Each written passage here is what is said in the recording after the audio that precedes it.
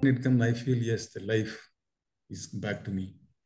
I feel I am really lucky that I was able to really get introduced to Kumbh, and I could get people who really uh, guided us. So the guide or guide team also was really great. So I should appreciate the total team, including our Swamiji.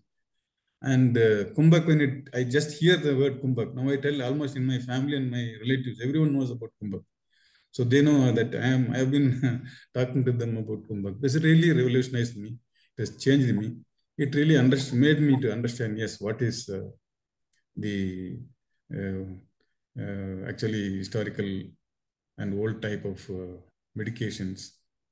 Only by rishis and others could get that advantage, which we are getting now. It's a great feeling.